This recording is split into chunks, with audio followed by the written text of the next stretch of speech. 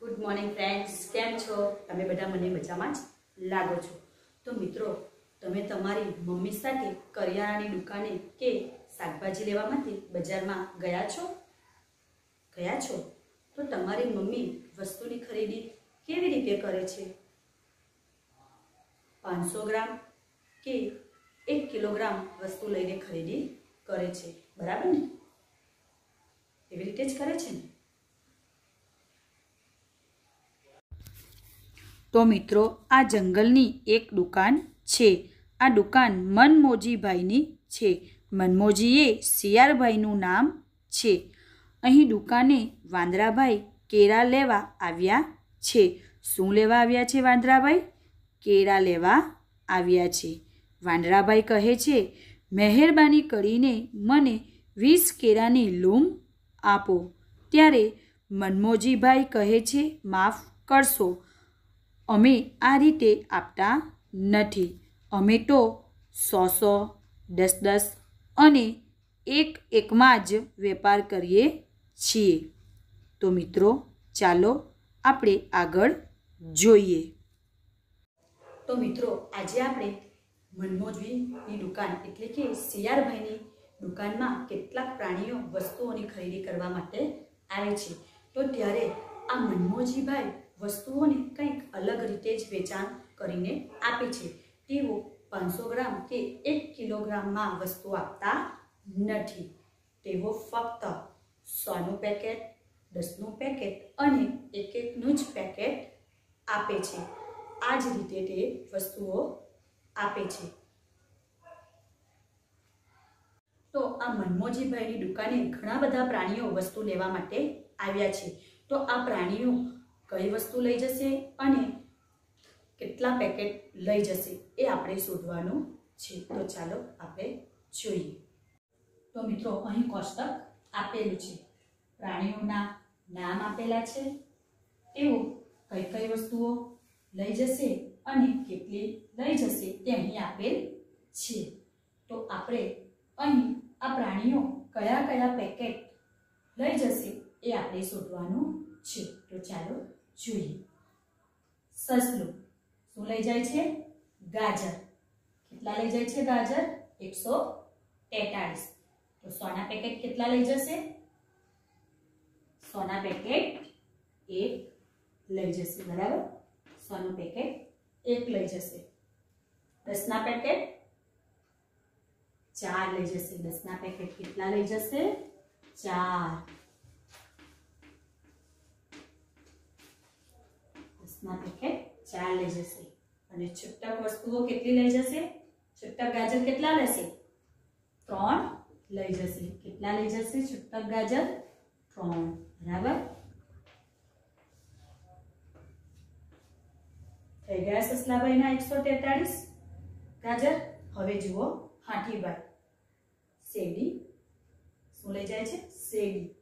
કેટલી? બસો દસ. તો સોના પેકેટ કેટલા લઈ જશે? બે. દસના પેકેટ એક. અને છૂટક શેરડી લઈ જશે. ન લઈ જાય, કેમ કે કેટલા લીધી છે શેરડી એમણે? બસો દસ શેરડી. તો છૂટક વસ્તુમાં આપણે શું લખશું? ઝીરો. થઈ ગયા બસો દસ. હવે જુઓ વાંદરાભાઈ શું લઈ જાય છે? કેળા. કેટલા લઈ જશે? બસો બેતાળીસ. બરાબર? સોના પેકેટ કેટલા લઈ જશે? બે. દસના કેટલા પેકેટ? ચાર. અને છૂટક કેળા કેટલા લેશે? બે. બરાબર? થઈ ગયા વાંદરાભાઈના બસો બેતાળીસ કેળા. હવે જુઓ હળણભાઈ શું લઈ જાય છે? ઝાડની ડાળીઓ, એટલે કે વૃક્ષની ડાળીઓ. કેટલી લઈ જાય છે? પાંચસો બાવન. બરાબર? સોના પેકેટ કેટલા લઈ જશે? પાંચ. દસના પેકેટ કેટલા લઈ જશે? પાંચ. અને છૂટક ડાળીઓ કેટલી લેશે? ઝાડની હરણભાઈ બે ડાળીઓ. કેટલી? બે. તો હરણભાઈ ઝાડની ડાળીઓ કેટલી લઈ જાય છે? પાંચસો બાવન. બરાબર? તો મનમોજીભાઈ આ પ્રાણીઓને આ વસ્તુઓના પેકેટ આ રીતે આપે છે. તો મિત્રો, મનમોજીભાઈની પૈસા લેવાની રીત પણ મનમોજી જેવી જ છે. તેઓ ફક્ત સો રૂપિયાની નોટ, દસ રૂપિયાની નોટ અને એક રૂપિયાના સિક્કા જ લે છે. એક રૂપિયાના સિક્કા જ લે છે. તો હવે આપણે આ પ્રાણીઓએ જે વસ્તુ ખરીદી છે તે વસ્તુની કિંમત તેઓ કેવી રીતે ચૂકવે છે એ આપણે જોઈએ. તો ચાલો. તો જુઓ, અહીં પ્રાણીઓના નામ આપેલા છે. તેઓએ કેટલા રૂપિયાની ખરીદી કરેલી છે એ પણ અહીં આપણને આપેલું છે. તેઓ કઈ કઈ નોટ અને સિક્કા આપશે એ આપણે શોધવાનું છે. તો ચાલો જુઓ. હાથીભાઈ કેટલા રૂપિયાની ખરીદી કરે છે? ચારસો વીસ રૂપિયાની. તો સોની નોટ કેટલી આપશે? ચાર નોટ દસ રૂપિયાની નોટ કેટલી આપશે? બે નોટ. કેટલી નોટ? દસ રૂપિયાની બે નોટ. અને એક રૂપિયાના સિક્કા આપશે. કેમની આપશે? કેમ કે એની ખરીદી કેટલાની છે? ચારસો વીસ રૂપિયાની છે. એમણે છૂટા સિક્કા આપવાના થતા છે. નથી થતા. તો અહીં આપણે શું લખશું? એક રૂપિયાના સિક્કાના સ્થાનમાં જીરો લખશું. બરાબર? થઈ ગયા. એમના ચારસો વીસ રૂપિયાની ખરીદી થઈ ગઈ. હવે જુઓ, સસલો. તો સસલાભાઈની કેટલા રૂપિયાની ખરીદી છે? એકસો ને તેતાળીસ રૂપિયાની ખરીદી છે. બરાબર? તો સોની નોટ આપશે એક, દસ રૂપિયાની નોટ આપશે ચાર, અને એક રૂપિયાના છૂટા સિક્કા કેટલા આપશે? ત્રણ સિક્કા. બરાબર? હવે જુઓ, વાંદરાભાઈ. કેટલા રૂપિયાની ખરીદી કરે છે? બસો બેતાળીસ રૂપિયાની. તો સોની નોટ કેટલી આપશે? તમારો જવાબ એકદમ સાચો છે. સોની બે નોટ અને દસ દસની ચાર નોટ. અને રૂપિયાના સિક્કા કેટલા આપશે? બે. બરાબર? હવે હરણભાઈ કેટલા રૂપિયાની ખરીદી કરે છે? પંચાવન રૂપિયાની. કેટલા રૂપિયાની ખરીદી કરે છે હરણભાઈ? પંચાવન રૂપિયાની. તો એ સોની નોટ આપશે? નહીં આપશે. અહીંયા કેટલા અંકની સંખ્યા છે? બે જ એકમ અને દશક. સોનો સ્થાન છે નથી. તો એ સોની નોટ આપશે? નહીં આપશે. તો અહીંયા આપણે ખાલી સ્થાનમાં શું લખશું? સોના ઝીરો. દસની કેટલી નોટ ચૂકવશે? દસ રૂપિયાની? પાંચ નોટ આપશે. અને કેટલા સિક્કા આપશે? એક રૂપિયાના. પાંચ સિક્કા આપશે તો આપને મળી ગયા હરણભાઈના પંચાવન રૂપિયા? મળી ગયા? તો આ પ્રાણીઓ આ રીતે પૈસા ચૂકવે છે. કોને? મનમોજી ભાઈને તે આ રીતે પૈસા તો પ્રાણીઓ આ રીતે મનમોજીભાઈને પૈસા ચૂકવશે. સમજાઈ ગયું? ચાલો આગળ જોઈએ. તો મિત્રો, કોણ કહેશે મને? આ મારી પાસે કેટલાની નોટ છે? સો રૂપિયાની. બરાબર. આ પણ કેટલાની? સો રૂપિયાની નોટ તો મારી પાસે સો રૂપિયાની કેટલી નોટ છે?